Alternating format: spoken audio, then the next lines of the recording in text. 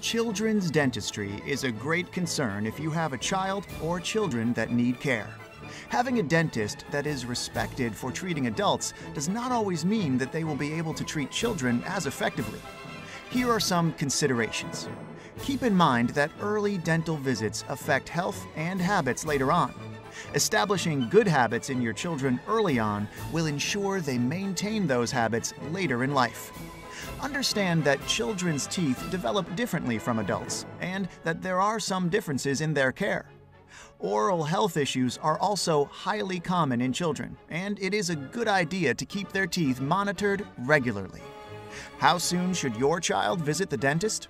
The American Academy of Pediatric Dentistry recommends that you bring your child into a dentist by their first birthday. Need a reputable children's dentist? Contact City Dental Centers today.